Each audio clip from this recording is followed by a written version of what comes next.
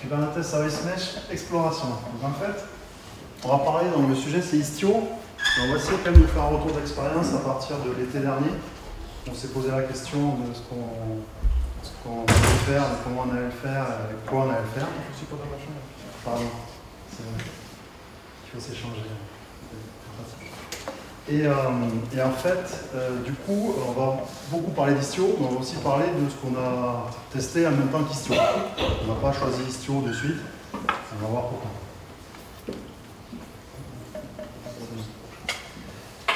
Alors, starting point. Donc, qu'est-ce qu'on veut faire chez Continental? Et En fait, on fait une, une plateforme microservice. Toujours les buzzwords microservices pour, euh, pour des services qu'on va offrir aux véhicules connectés à terme autonome. Donc euh, on espère avoir des millions de véhicules. Au début de la course avec tout le monde, on. Et on se déploie sur un cloud. Et pour l'instant, on prévoit de se déployer sur AWS. Alors nos besoins, en fait, on a listé un peu de quoi, euh, donc depuis l'année dernière, qu'est-ce qu'on disait qu'on avait comme besoin. Donc pour notre système, évidemment, si on est sur un système distribué, le plus important, c'est un peu savoir ce qui se passe sous le capot. Donc il y a des gros avantages par rapport au monolithe. Hein, on, va faire un sujet là-dessus, c'est acté. Mais du coup, il faut quand même avoir un peu d'observabilité. Du coup, mais qu'est-ce qui se passe dans ce système distribué? Donc, euh, quelles sont les interactions entre les différents composants Et euh, surtout qu'on peut avoir un écosystème distribué avec pas mal de microservices. C'est-à-dire un certain nombre. C'est le but. Du coup aussi, comment est-ce qu'on a un peu de résilience et quelle est notre tolérance aux pannes ou aux problèmes En fait, euh, dans un monolithe, bon, la gestion d'erreur, c'est pas forcément simple, mais c'est plus simple qu'un système distribué. Le contrôle du trafic, ben, on veut quand même savoir ce qui se passe. Et par exemple aussi, on aimerait avoir des fonctionnalités du style euh, faire du throttling, avoir du rate limiting sur certains endpoints, par exemple de sécurité. On sait qu'on n'est pas en train de prendre un DDoS, etc. Des choses comme ça. Et bien sûr, du, déploiement continu en production. Donc, tant qu'à faire, on aimerait bien avoir quelque chose qui nous aide à faire ça. On verra, on verra ce qu'on a, a, pu trouver. Et forcément, l'aspect sécurité. Bon, c'est pas plus que ça. C'est ma sécurité, c'est important. Du coup, le, Vas-y, service mesh. Donc le service mesh, qu'est-ce que c'est? Euh, C'est une, surcouche, euh, alors pour nous, Unify Kubernetes, c'est une surcouche réseau sur, euh, sur Kubernetes. Le but du, du service mesh, c'est de rester transparent et d'être langage indépendant. Donc transparent ou langage indépendant, on entend, on ne veut pas qu'on modifie le code pour bénéficier des fonctionnalités que va apporter un service mesh. Euh, sans, sans, un service mesh, on peut très bien avoir des microservices et euh, porter euh, de la visibilité, des choses comme ça qu'on a vu tout à l'heure. le désavantage qu'on pourrait trouver, c'est qu'il va falloir avoir différentes librairies dans différents langages et maintenir ces différentes librairies pour arriver aux fonctionnalités qu'on espère. Euh, quand on a un service mesh, du coup, le but du service mesh, c'est d'encapsuler tout, ce qu'il y avait en gris avant, donc tout ce qui nous présentait, euh, par exemple, euh, je prends un exemple sur l'open tracing qui est à gauche, ici. donc le but du jeu, c'est d'encapsuler dans le service mesh pour qu'on n'ait plus à, maintenir une, librairie ou des choses comme ça. Sur le service mesh, il y a deux architectures qui sont possibles, une à gauche, une à droite. Euh, celle de gauche, c'est une approche où on met en fait euh, un proxy qui va euh, récupérer tout le trafic. Mais ce proxy est situé sur le node. Et à droite, le modèle, c'est plutôt avec un, proxy qu'on va coller au pod. et donc à gauche, c'est plutôt pour gérer le trafic nord-sud. Et à droite, on peut bénéficier du trafic est-ouest aussi. Donc on peut avoir un service mesh entre, entre différents pods. Donc à gauche, c'est plutôt l'approche la, euh, Linkerd, et à droite, c'est plutôt l'approche euh, Istio qu'on discutera plus tard. Alors, quand on a commencé à regarder, donc en été dernier, donc, il y avait différentes options.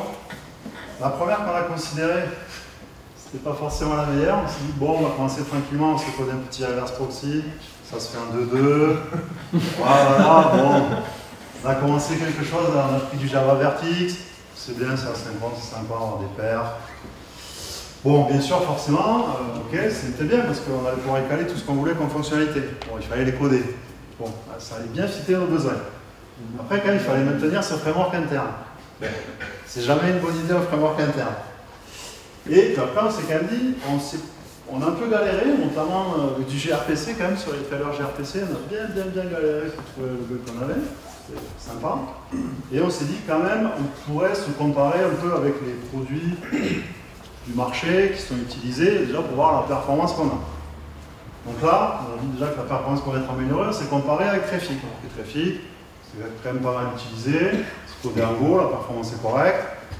On teste. Bon déjà, Trafic c'est très bien, c'est facile à intégrer. On a bien aimé l'IHM pour voir la config, tout ça, il est très sympa. Contrairement à ce qu'ils annonçaient l'été dernier, on, trouve que le support de gRPC était pas TikTok, on a galéré aussi. Bon, on n'était pas les seuls, c'est plaisir. Et après, mis, on a mis only avec les guillemets, c'est vrai que c'est juste un reverse proxy, donc il n'annonçait pas plus. En même temps, je crois qu'il y a du circuit breaking tout ça, mais c'est pas un service mesh au sens où on l'entend.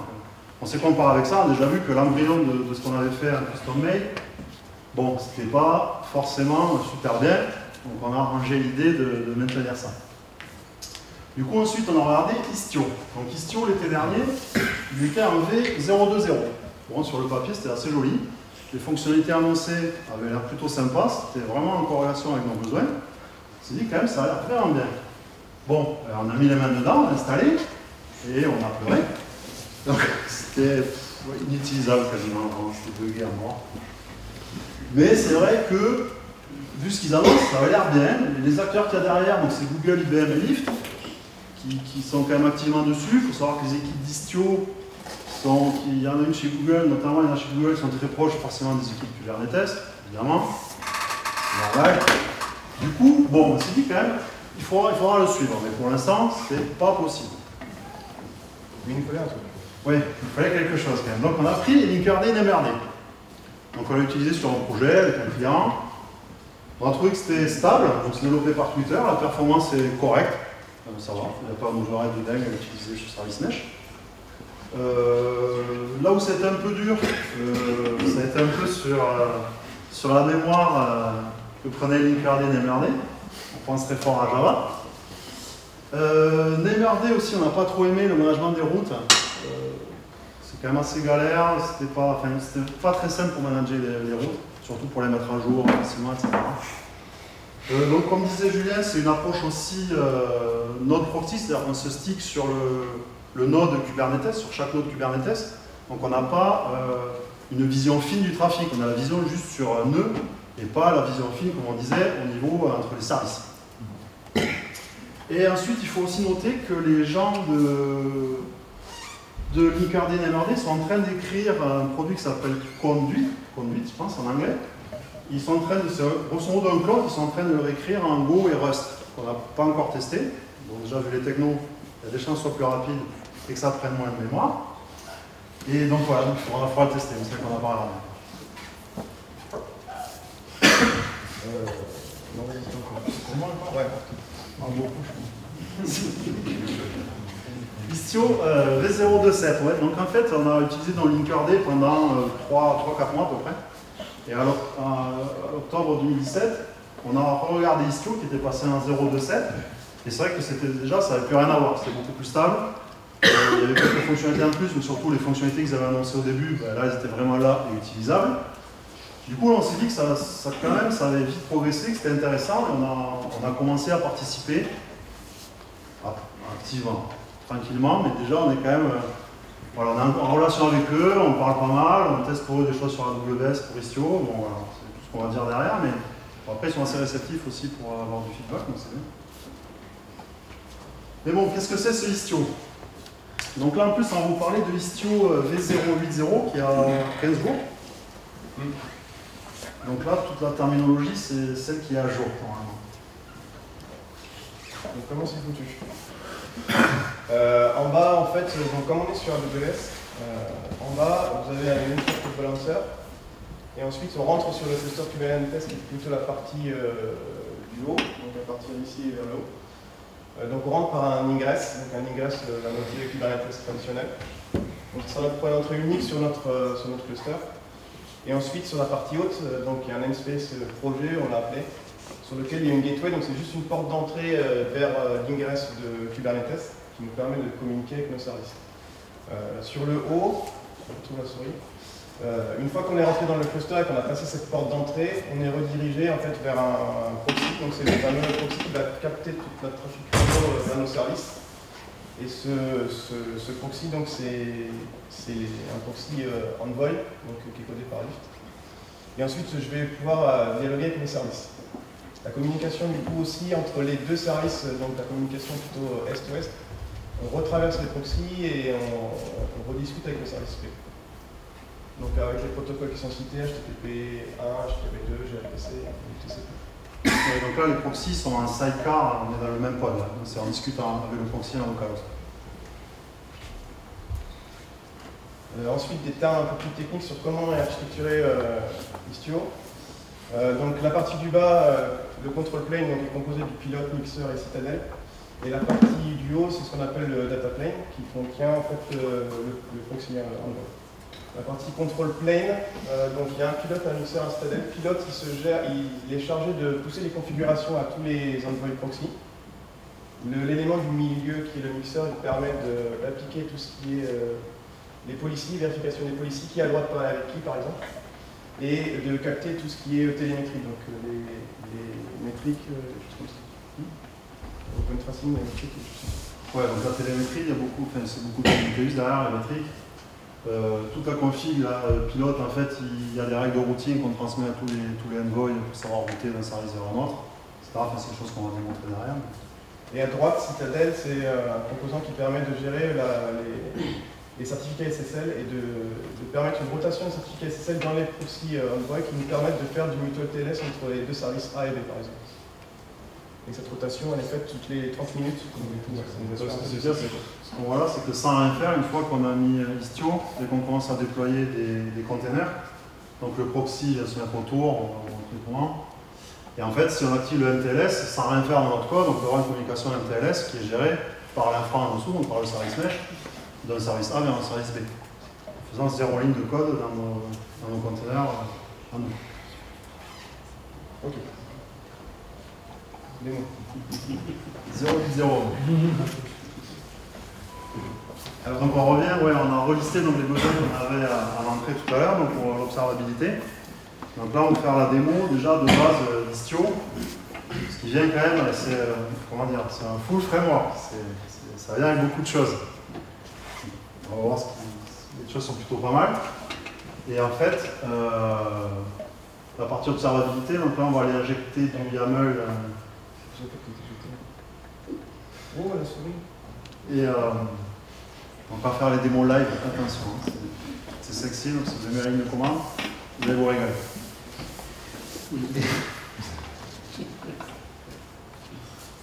Donc,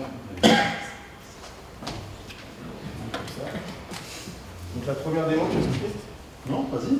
la première démo, oui, on va déployer juste des, des pods, euh, certains qui répondent 200, d'autres qui, font, qui renvoient tout le temps à 500 ou 503, je sais plus, qui font des erreurs. Et ensuite, on va stresser un peu les pods, on va, les appeler.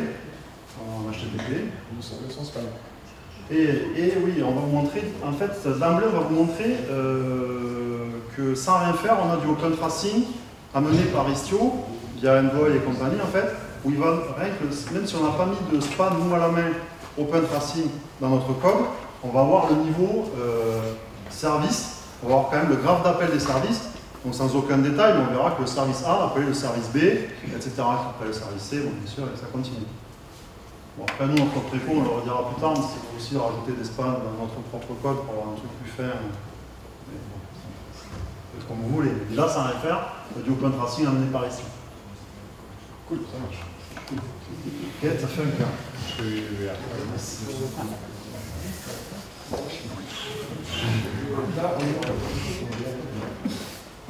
Oui. Un tracing non spam. Là-bas, à droite. Ah.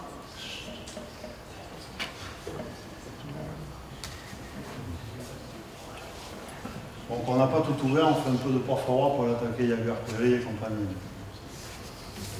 Tout à fait normal, faites bien prod surtout.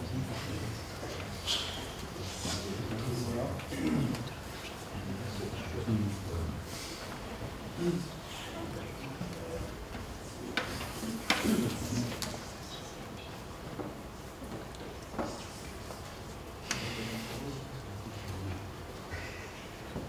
ce qu'il y quand même, ce qu'il faut dire, c'est que l'istio, il vient tout ça, donc il vient avec un Jagger euh, all-in-one, il me semble encore, avec le même pod. Ça fait un déploie istio, on a tout ça qui se déploie pour nous, et donc on a du Jagger, Ferry et compagnie. Et donc là, ben, on voit, on voit l'appel en fait qu'il a fait un curl. Donc euh, vu qu'on n'a pas de spam à, ce- à nous dans ce container, on a juste des spams rajoutés par istio. Donc, ça reste une granularité assez grosse, mais c'est mieux que rien. Et si on va voir tout le verre de dépendance aussi déjà? Ouais.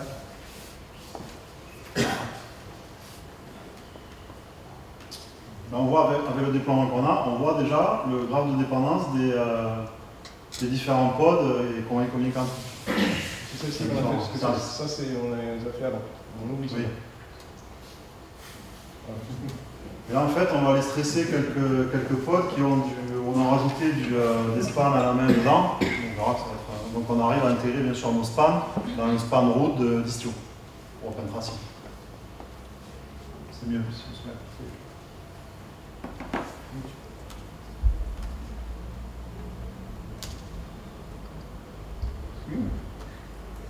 Donc là, si je retourne ici.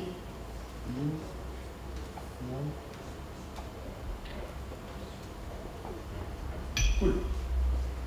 Donc là, avant, on avait, avant, on avait 6 spans ici. Et donc, ce que, ce que disait euh, Lionel, c'est que maintenant, ici, j'ai 7 spans. Et donc, en fait, la différence, c'est que du coup, j'ai injecté, euh, j'ai récupéré les spans qui sont gérés automatiquement euh, par, par Istio, je les ai injectés dans, repris dans mon code et j'ai je les ai. Donc du coup, j'ai pu, pu euh, rajouter en fait le, le dernier span qui est démo Istio 200 HTTP dans le, dans le, dans le span parent de Istio. Voilà, ça me permet en fait de, faire pen tracing directement le code. Et maintenant, ce qui est pas mal, c'est que je vais générer une fausse erreur. Voilà, donc là, on va appeler des pods qui renvoient des erreurs. Et après, on va montrer le dashboard par défaut d'Istio, donc ça va être du Grafana. Donc, D'abord, on, on montre qu'on peut voir dans le tracing euh. Ouais, on voir l'erreur dans Open Tracing. Voilà.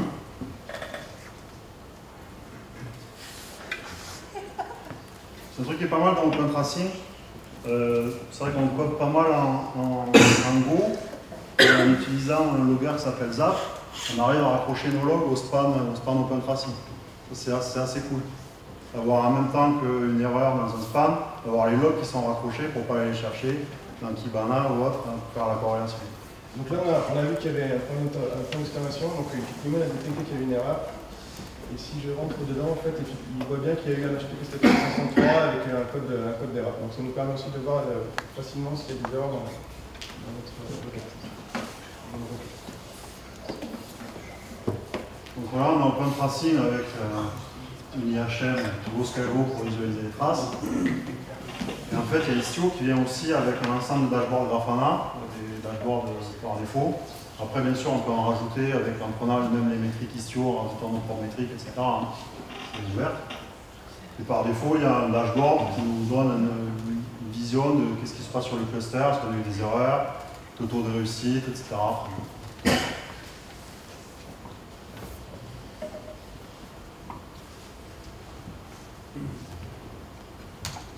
Maintenant, on va sur Grafana.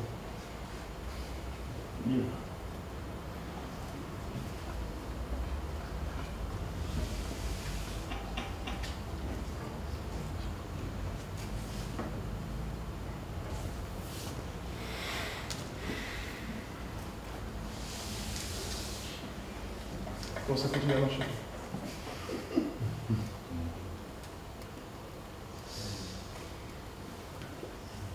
ça nous montre en fait, euh, ça nous montre le, montre le, trafic qui, qui ont été générés.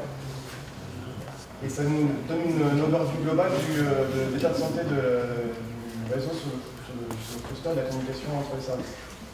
Euh, Ce qui est pas mal, c'est que du coup, on a un aperçu assez rapide que quand j'ai généré, les erreurs 503, en fait, on les voit directement ici, on peut facilement les consulter ici, c'est les success rates, donc tout ce qui est en, réponse caprice. Donc là, du coup, c'est que j'ai fait trop longtemps, du coup, on est plus. voilà, donc après, ça amène d'autres dashboards plus détaillés ou des choses comme ça qui sont disponibles, qui sont fournis directement par, par Istio. Donc, par exemple, le mixeur se charge de la télémétrie, par exemple, on peut facilement voir tout ce qui est consommation CPU, des choses ça.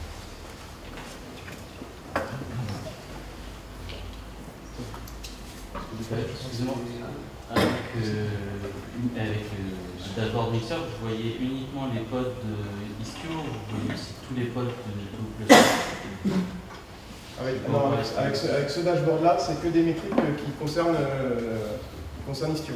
Donc c'est que des métriques euh, réseau, des choses comme ça.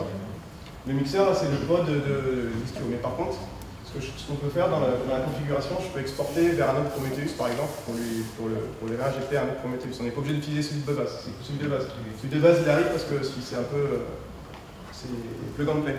Donc, ouais, tu as directement ton, dashboard, mais tu peux très bien exporter ces métriques, des métriques euh, Prometheus compatibles. Dans aussi, ce qu'on n'a pas dit, explique aussi un peu, c'est que là, en fait, on a fait du CTL en fait, euh, basique, euh, ce qui est pas mal quand même avec Istio. Ce n'était pas le cas dans les premières versions, il fallait piper vers Istio CTL. Là, il y a un hook qui fait que quand tu déploies un CTL, tu déploies ton YAML euh, vers Metal Kubernetes. Si c'est un namespace qui est istioisé, donc après tu peux avoir des namespaces quand même dans ton cluster où il n'y a pas Istio. Donc auquel cas, après, ça répond aussi, tu ne les verras pas là.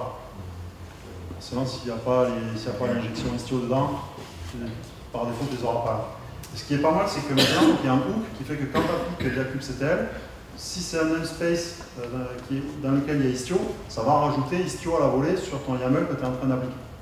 Donc là, en fait, pour illustrer ce que dit, euh, ce que dit Lionel, c'est que dans l'aspect de mon déploiement, en fait, une image, je déploie mon image avec quelques environnements, il n'y a rien qui, qui, euh, je déclare rien par rapport à ISQ en fait. Et par contre, si je regarde, euh, si je regarde ce qui tourne, on va voir qu'il a injecté le fameux pod. Euh,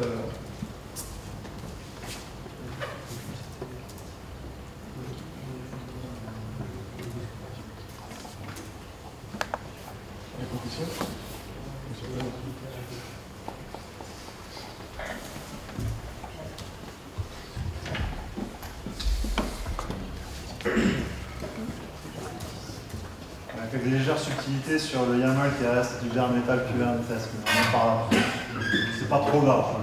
En fait, là, ce qu'on voit, c'est qu'il a écrit 2 sur 2 parce que du coup, forcément, il a rajouté euh, son propre, son propre conteneur.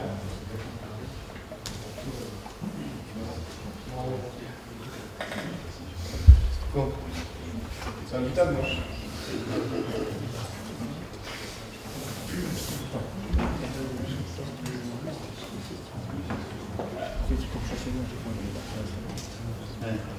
Et en fait, euh, en fait donc, sur mon déploiement, je m'arrêtais ici, sur cette partie ici.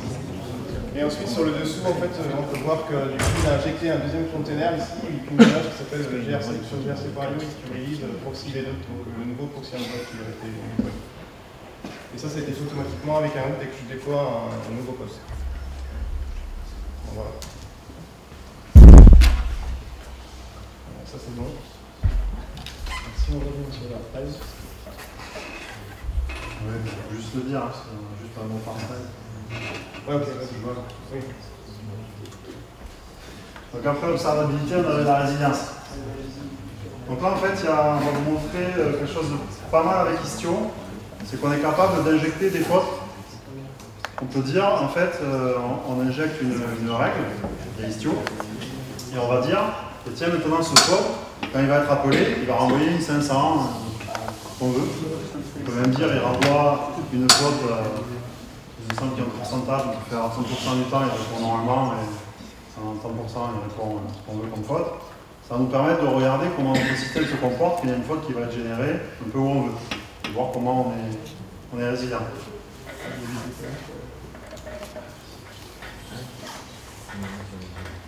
Donc là, on va faire ça comme démo. Il y a des possibilités aussi avec Istio de rajouter du délai. Euh, artificiellement, comme le code qu'on injecte, on peut dire qu'on va appeler tel pod, Mais il va répondre en temps de secondes. Ça, toujours dans, dans le but de monitorer comment se comporte mon système quand ça commence à mal aller euh, dans certains services. Donc si on prend le cas du délai, en fait, dans la configuration d'Istio par exemple, euh, j'ai un fichier qui explique, qui décrit en fait euh, mon délai. Donc si je regarde ce fichier.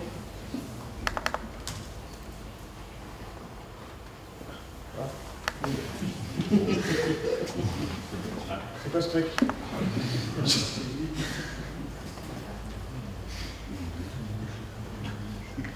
Mais je sais pas, il faut des éditeurs liens. Il n'y a pas vieille. Non, faut utiliser. C'est pas bizarre. C'est pas grave.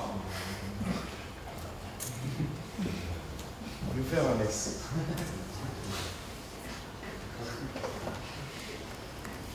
Ça marche. En fait, je vais lui dire, euh, ça c'est un peu pour euh, ce qui aiguille en fait mon trafic. Euh, ça veut dire que si j'arrive avec, par exemple, un header particulier qui a un cookie qui s'appelle header Julien et que je lui donne un, pass qui s'appelle slash préfixe, je vais être routé vers une destination, donc qui est un service Kubernetes qui s'appelle démo. Et dessous, c'est la ligne qui nous intéresse, c'est je peux lui dire que dans 100% des cas, il va falloir que tu attendes 5 secondes avant de renvoyer quelque chose au conteneur.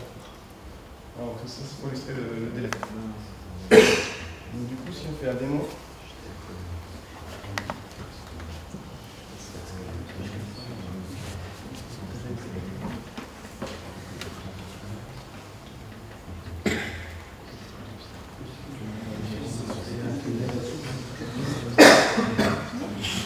Donc là, je passe, je lui passe ma règle, je lui dis euh, le pass, je donc slash, je lui slash délai, je donne mon cookie euh, pour que je sois orienté vers le bon, euh, le bon, service.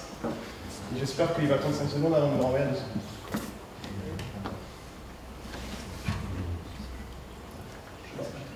Ou pas. Plus de 5 secondes. Plus de 5 secondes. Ah, je suis tout. Bon, Donc, pendant qu'il ne sait pas ce qu'il fait, on peut faire la même chose pour envoyer des erreurs, euh, ce qu'on disait tout à l'heure, donc vraiment purement des fautes, euh, simuler des retours euh, autres que de 100.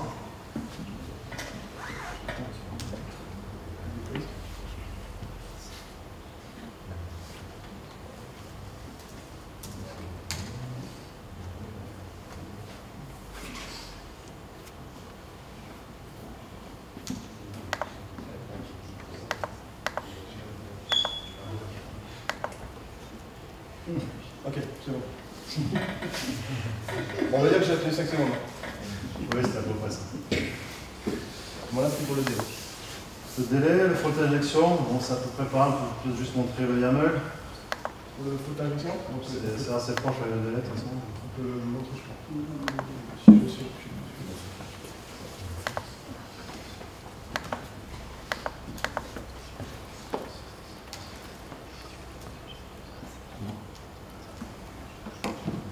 En fait, donc du coup, j'ai fait une deuxième rousse qui fait que si j'arrive avec un, un préfixe qui s'appelle slash error, donc je vais être redirigé sur, euh, pareil, sur, démo, sur le service démo Istio, sauf que là, je lui rajoute une, je rajoute une faute pour dire qu'à 100% des cas, il faut qu'il me ren- renvoie une erreur 400. Alors que mon pod, lui, il en renvoie des erreurs, euh, des erreurs de 100. Donc pas des erreurs. Bien joué. c'est pas très grave. Ouais,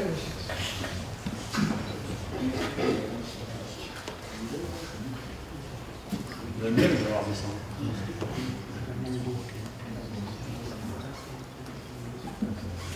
Donc si je dis erreur,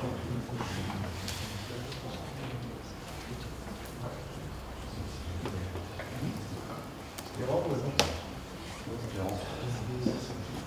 Ça, c'est la même chose.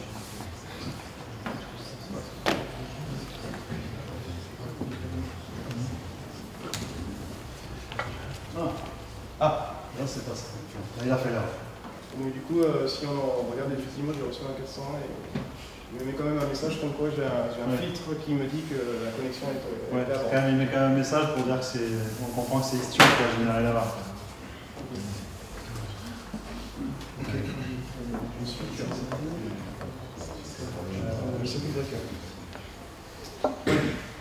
Donc Istio vient avec du, du circuit breaking. Ça, c'est quand même assez classique dans les services mesh maintenant. Donc, quand il y a des, on va dire on a 10 pods qui sont atteignables. Il y en a certains qui vont commencer à répondre en erreur. Au bout d'un certain nombre d'erreurs, ils vont être mis en quarantaine pendant un certain nombre de temps. Vais montrer la règle on. On va décider du, temps de mise en quarantaine euh, après un certain taux d'erreur. Du coup, en fait, ça va le sortir du pool des poids atteignables. Si on avait 10, ensuite, il y en a un qui a envoyé beaucoup d'erreurs, on pourra taper que sur 9. Et si au bout de 30 secondes, 30 euh, secondes, il revient dans le pool, il est atteignable dans, cet exemple, il y a deux parties. Il y a une partie qu'on rencontre pas en démo, mais la première partie, ça veut dire que je peux faire qu'une seule connexion, euh, une seule connexion sur mon pod, sur mon service ce qui m'intéresse, c'est la partie du bas, ici, euh, le layer détection, qui fait que, effectivement, si je reçois des erreurs 5x, euh, je vais circuler mon, mon service. Donc pour ça, il faut que je forward, en fait, euh, je vais me connecter sur, sur le, le, container Envoy qui est à l'entrée de mon cluster pour vérifier les, combien de pods ont été éjectés de, de mount dans, dans, bah, dans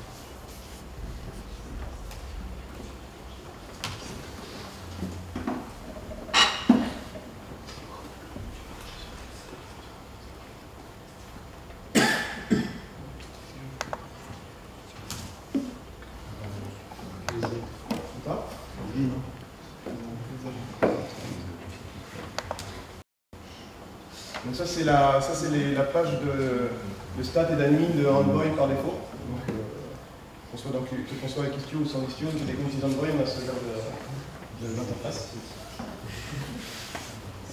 Euh, et donc moi ce qui va m'intéresser c'est d'aller voir, les stats, mais bon je vais pas tous les afficher.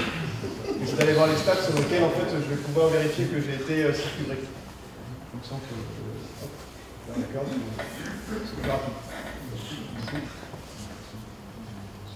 rapide.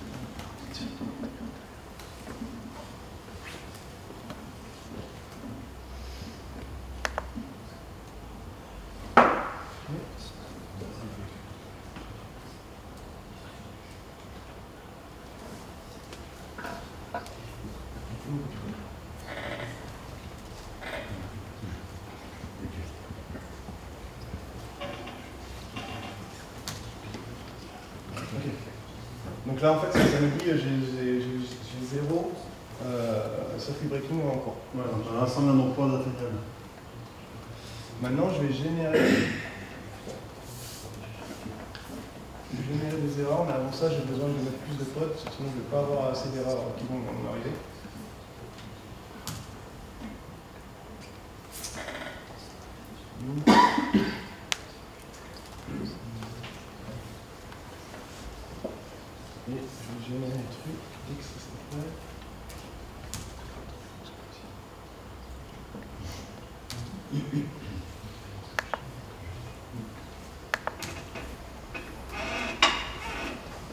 Donc là, on utilise un outil qui s'appelle Fortio, c'est juste ça génère de la charge de la charge.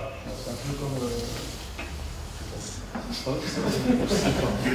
ça vient dans l'écosystème Istio en fait, c'est un truc qu'ils ont, construit, c'est une ligne de commande pour faire du, de la charge,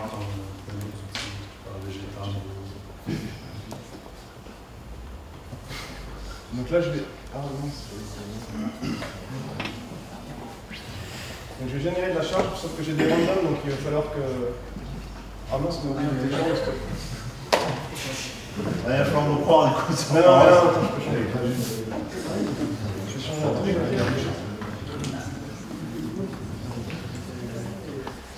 On va faire des cartes au pif.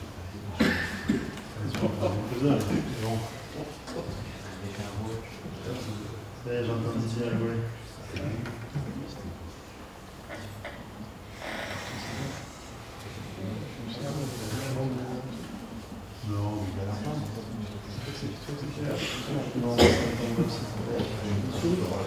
Voilà,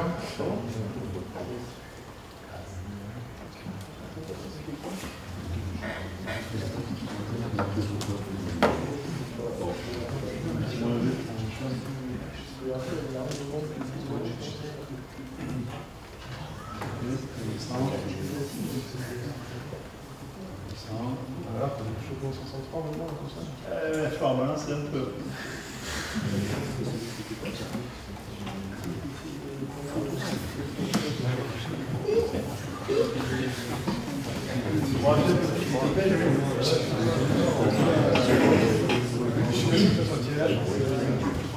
Non, mais c'est pas grave. Sur Slash. Je peux pas me croire sur parole que le circuit breaking marche.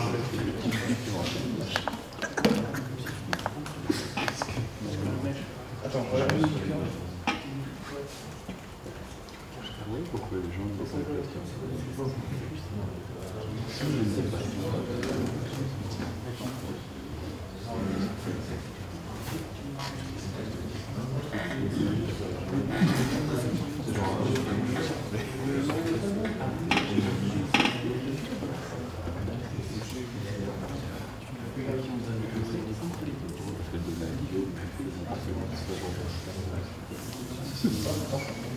Ah, mais c'est bon. Il y a un 6 là-haut. c'est magique. Bon, ça a marché, mais on se va pas. Ouais, Mais bien peut-être peut-être que j'ai eu des erreurs quand on a dans l'air. Ouais, ça, ils sont évités que 30 secondes. Ça va revenir.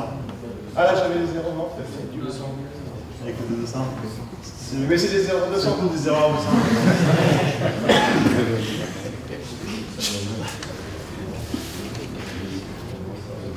Ok, next.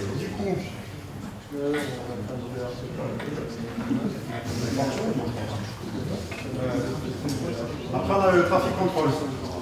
Euh, on peut faire donc dans, dans on peut faire du rate euh, limiting, donc du spotting.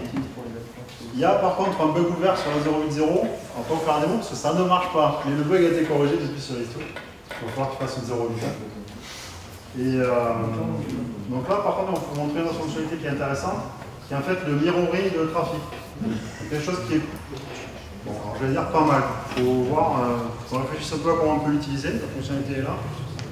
Euh, c'est que quand on va d'un service A vers un service B, on peut euh, mettre une règle qui fait que le service A, tout son trafic va aller vers le service B, et en plus, en asynchrone, sans impacter les perfs, on va mirorer le trafic de A vers B vers une autre destination. On fait du dark traffic, du mirroring, Une ou plusieurs une ou plusieurs. Une ou plusieurs destinations Ou une seule?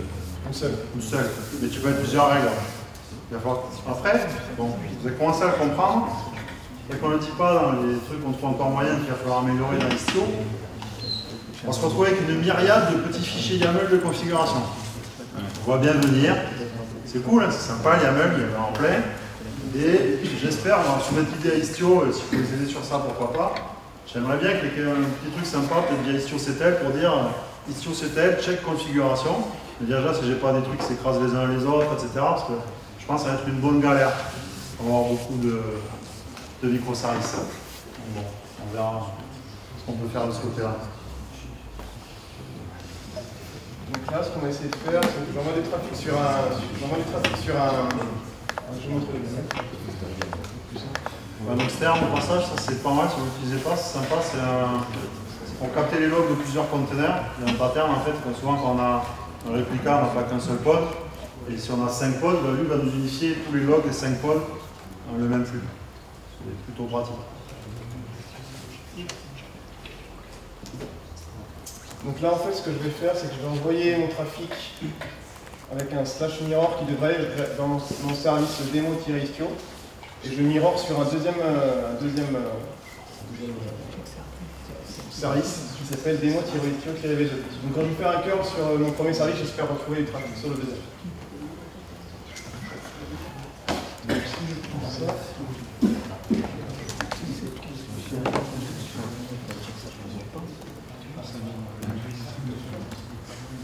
ok. Là, je fais une curl.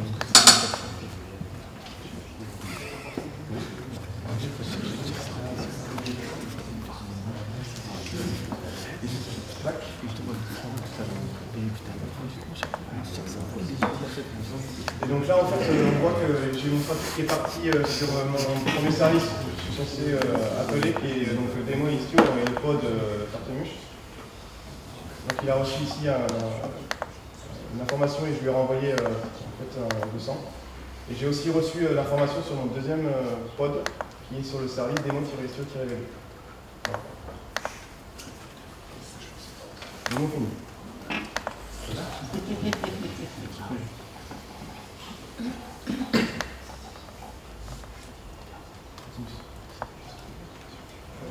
Oui, euh, là, alors en fait, sur le, sur le continuous deployment en production, une fonctionnalité sympathique dans Istio, c'est qu'il va nous aider pour faire du canary deployment.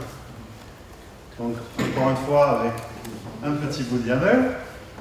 Là, ce que je veux juste rajouter, c'est que sur la partie euh, Canary, euh, de base, euh, Kubernetes sait gérer en fait plusieurs versions en même temps, mais ne le sait gérer qu'en fonction du nombre de réplicas de ton service que tu mets. Donc, du coup, ça implique de scaler ton application pour arriver à un pourcentage que tu veux de, de, de- trafic. Là, l'avantage, c'est que quand on va aller voir dans le, dans le, dans le YAML, je exprime un pourcentage, que j'ai pas besoin de tout rescaler mon, mon application. Donc, ce qu'on va pouvoir faire avec ça, c'est qu'on va pouvoir, quand une version, euh, une version 1 d'un service et la version 2, on va pouvoir dire tu me laisses 75% du trafic sur la V1 et tu me routes 25% sur la V2. Et comme ça, on va pouvoir incorporer une nouvelle version en prod, voir comment ça se comporte sur un sous-ensemble des utilisateurs. Une fois qu'on est confiant, on commence à ouvrir, on bascule 100% sur la V2.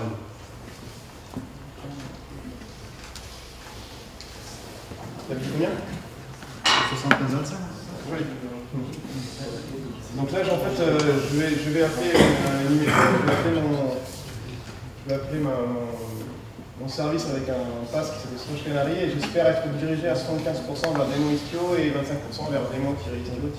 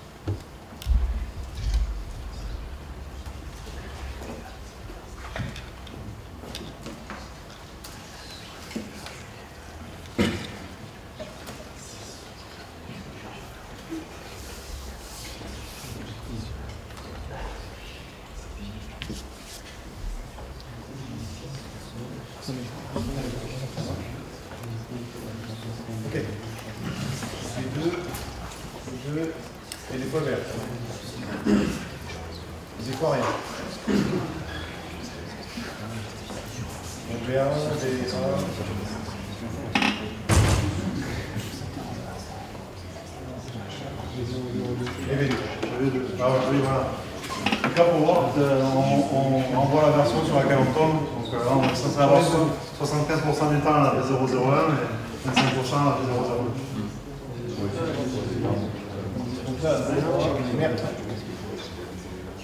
Voilà.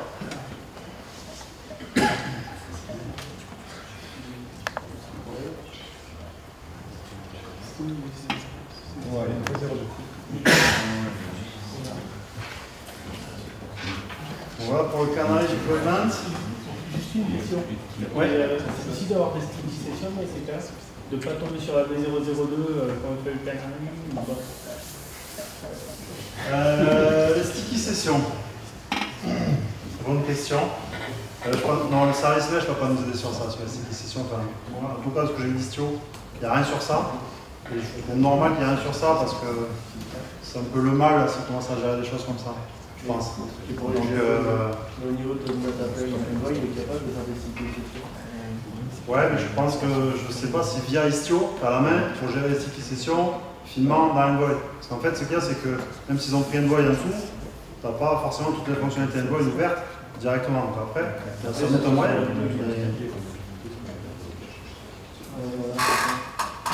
Mais après, les sticky sessions, enfin, voilà, on a d'autres moyens, enfin, on n'est pas toujours obligé de passer par des sticky sessions pour avoir quelque chose qui marche. quoi. Donc, euh, on peut s'en sortir avec euh, des caches, euh, enfin, qui va chercher dans les choses. Les, les caches, si tu as moins une affinité, si tu veux, les caches sont plus efficaces. Parce que si tu caches partout, euh, c'est certes, tout à fait. Ou alors sur le niveau du contrôle plane. Mais après, on n'a pas, on n'a pas creusé encore cette partie-là. Je ne l'ai pas vu dans Istio. Après, on, pourra- on peut prendre la question, aussi demander à l'équipe Istio et remonter ça comme. Euh, voir ce qu'ils en pensent, ce qu'ils vont faire, si c'est prévu, pas prévu, qu'est-ce qu'il y a. Et ça peut marcher sans Envoy. Et on peut mettre un achat, un- n'importe quoi. Bah, Istio, c'est de piloter d'autres euh, d'autres, euh, data planes. Par exemple, il il serait piloté un Nginx, par exemple. Il y a une grosse affinité quand même avec euh, les composants Envoy. Il y a une API en fait qui diffuse. Eux, eux, ils vont ça, ils discutent directement avec l'API que je vous ai montré tout à l'heure. Tout à l'heure, il y avait les, des stats, mais il y a une slash API. Ils ne peut que discuter avec cette API. Mais euh, par exemple, s'il y a des nouvelles fonctionnalités qui sont, euh, qui sont demandées par Istio, pour je sais pas, on peut manger quelque chose, les deux euh, vont très vite à se mettre d'accord pour développer une nouvelle feature sur, sur Android. En tout cas, pour développer par exemple le Android V2, ils ont, ils ont pas mal discuté ensemble pour mettre en place pas mal de, de fonctionnalités. Après, il y a la, a démo sécu, Oui. Est-ce que côté sécu, ce qu'on peut faire, on peut. On aussi, là, c'était dans le côté sécu. Je vous montre juste les fichiers. Ouais, juste montrer le Yammer rapidement. Donc euh, sur la partie sécu, on va voir le mutual TLS dont on parlait tout à l'heure. Il y a aussi une chose intéressante, on va dire, on peut dire facilement, ce service-là n'a pas le droit d'appeler tel autre service. Donc pareil, un YAML pour dire pour deny entre tel service et tel service. C'est ça qu'il a montré comme YAML.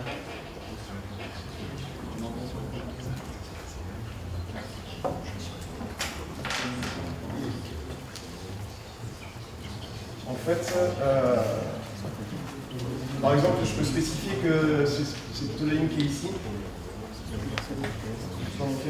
C'est que je peux spécifier que si je cherche à une destination d'un service A et que je viens d'un euh, si je veux aller sur un service B et que je viens d'un service A, donc par exemple si je suis sur le service A démon SQL et que je veux contacter le service B qui est démon SQL Pong, je peux euh, refuser, euh, refuser l'action. Donc je peux mettre du, contrôle sur cette partie-là.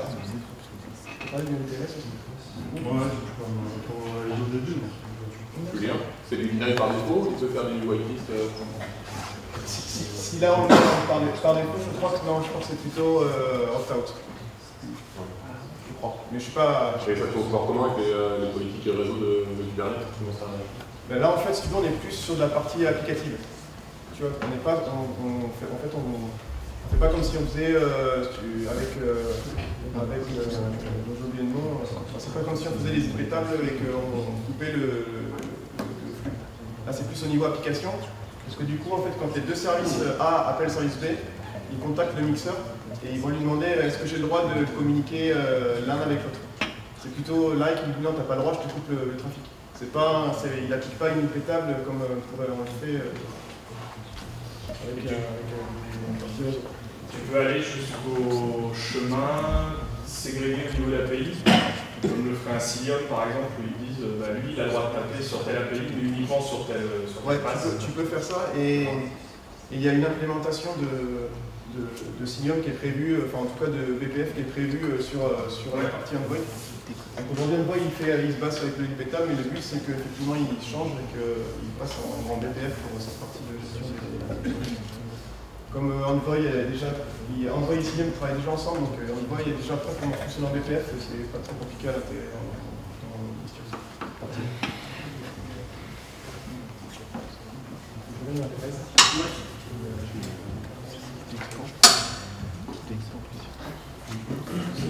la presse, on va, on va essayer d'insister sur une partie de un peu les problèmes qu'on a rencontrés. Il y a quand même quelques subtilités qu'il faut intégrer.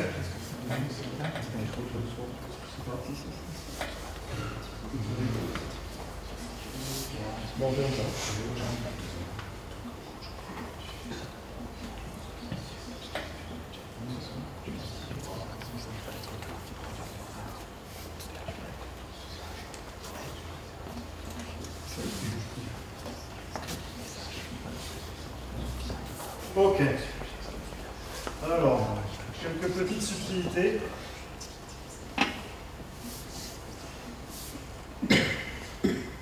Ah oui, euh, donc on a dit qu'on ne touchait pas au Kubernetes, euh, YAML de Kubernetes, que Istio c'était transparent pour ce YAML-là, à quelques petites limites près qui sont surtout ça-là, c'est que Istio se base dans les services sur le nombre des ports pour savoir les router.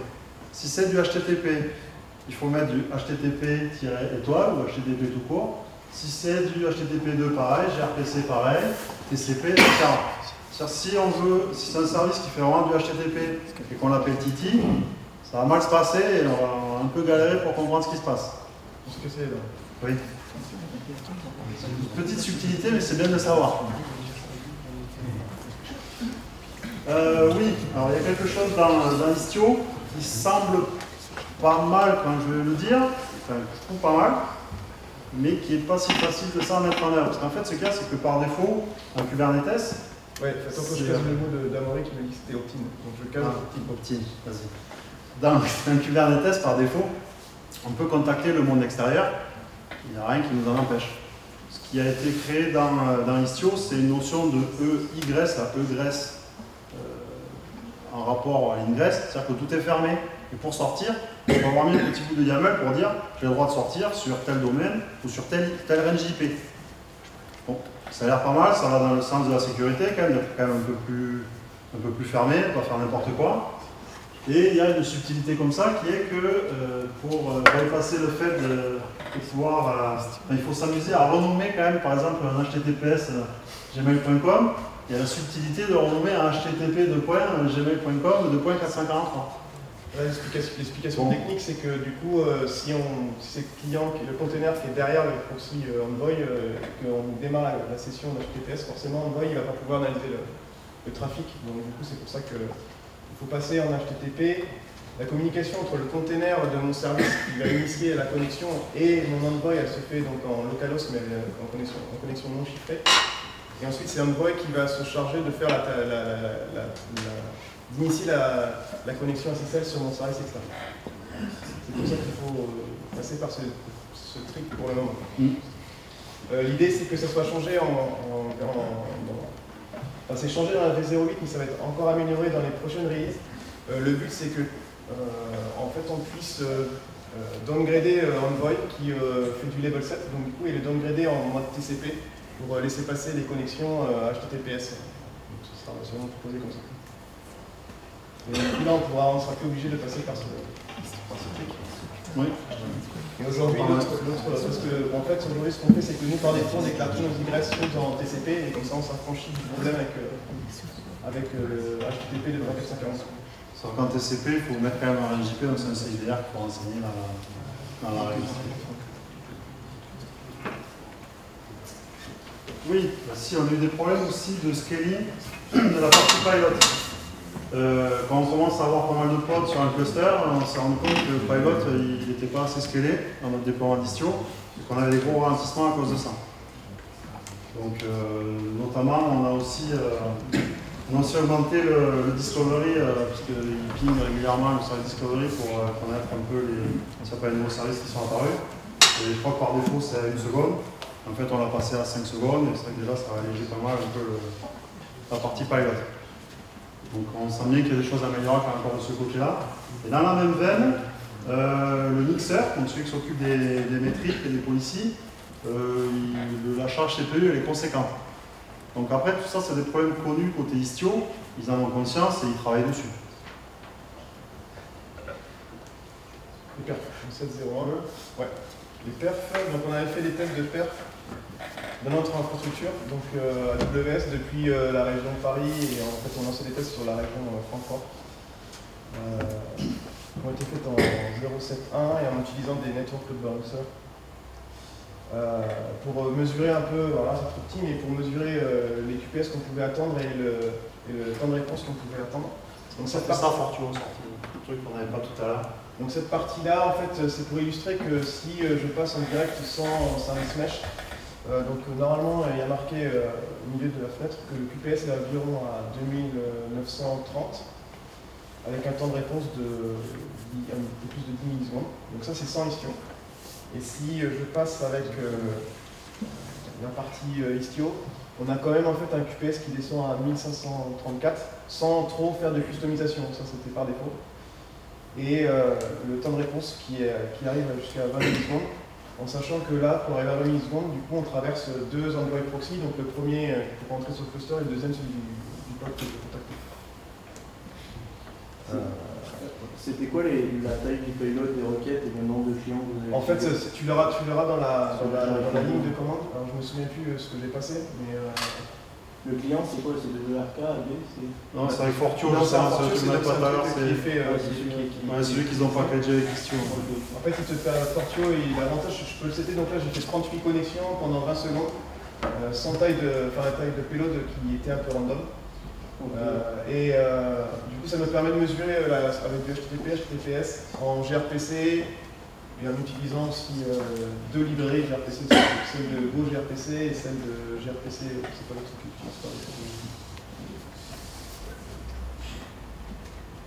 Euh, donc du coup tout ça pour illustrer que c'est quand même, il y avait quand même un, quand même un petit surcoût, Euh, mais que la target qu'ils essayent d'avoir, ils essayent de trouver une solution pour pouvoir scaler le, service mesh pour atteindre euh, 50 000. euh, alors c'est des TPS, pas des QPS, c'est des, ils veulent ils veulent en, en transaction par seconde. Ouais, Et, euh, le TPS, là, chez eux, là, c'est query par seconde, le TPS, c'est transaction par seconde. Donc là, c'est plus long, c'est plus simple parce qu'il n'y a pas d'acknowledgement, alors que côté QPS, on considère qu'il y a du hack, etc. Et euh, ils essayent de réduire la latence pour euh, essayer de s'approcher des, des 10 millisecondes que c'est le transfert.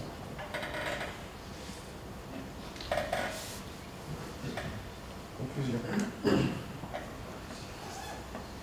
Alors oui, donc déjà, la 080, donc il y a 15 jours, ils ont quand même taqué euh, LTS. Donc euh, c'était un peu demandé aussi par les gens qui commençaient à l'utiliser, parce que c'était bien gentil d'avoir trouvé une nouvelle version avec beaucoup de breaking change. Donc là maintenant, ils ont quand même euh, assuré un peu de support sur ça là. Ils vont sans doute bah, porter des cherry piquer des choses qu'ils vont faire derrière pour amener sur, sur ça là. La 090 va être skippée, il y a eu 1.0.0 qui est prévu pour euh, juillet. Donc on a vu que c'était un peu intrusif sur le, sur le YAML Kubernetes, donc notamment pour les ports naming, il faut faire attention. Euh, du coup, ce qui, est, ce qui est quand même sympa, c'est qu'on peut quand même dire que c'est un service mesh qui, qui est pas si mal que ça, parce que c'est vrai qu'il y a beaucoup de choses qui fait pour nous, du coup on a moins de choses à faire dans notre code pour chaque container. Nous, on, on vous conseille quand même de rajouter vos propres spans open tracing et de ne pas juste garder les spans euh, ajoutés par, par Istio. Que c'est accroché au span. Oui, se rapprocher au span. Et euh, si, ce qu'il faut encore dire, bien sûr, aussi, c'est qu'on n'a pas encore le retour vraiment de production. On va avoir des premiers services en production fin- d'ici la fin de l'année. Et bon, on verra si on est toujours avec du Istio d'ici la fin de l'année aussi. Si, si on change, on viendra vous le dire. Voilà, c'était tout. Et donc du coup, si vous avez des questions, euh, voilà. Euh, une question sur la, la- la partie control plane. Comment est assurée la, haute disponibilité C'est-à-dire où sont stockés les configs et comment est-ce qu'on fait une config achat là-dessus? Parce que j'imagine si ça plante, euh, tout s'arrête, non? Alors, en fait, euh, donc euh, du coup, sur, la, sur, la, sur la partie, donc le- les, les, les ingress, je vais les scaler. Donc ceux, qui me font rentrer sur le cluster, je vais les, scaler. Donc nous on en met un sur chaque, permet- ceux qui me permettent de rentrer. Après, sur, sur la scalabilité euh, du produit, euh, euh, tout ce qui est pilote, donc ceux qui vont configurer, qui vont pousser les configurations sur les envoys possibles. Là, je peux aussi les, je peux, mettre plusieurs réplicas. Donc nous, on tourne aujourd'hui, on est en avoir, d'en avoir 6. Euh, sur la partie mixeur, aujourd'hui, on n'a pas, on pas dupliqué. Et après, sur la gestion de la configuration, en fait, il se base euh, surtout, surtout- surtout- sur la configuration de Kubernetes. Donc, il va interroger- TCD voilà, il va directement interroger le TCD. La configuration qu'il va y avoir, que- qu'ils rajoutent eux, c'est euh, est-ce que j'envoie mon span, ou est-ce que j'envoie mon Prometheus, ou est-ce que j'envoie mes choses comme ça. Mais tout le reste, en fait, ils ont fait des custom ressources euh, définitions dans Kubernetes qu'ils ont, euh, qu'ils ont énoncé, et donc du coup, euh, ça te permet, c'est c'est pas eux qui se gèrent de la compte, c'est le TCD qui va le faire.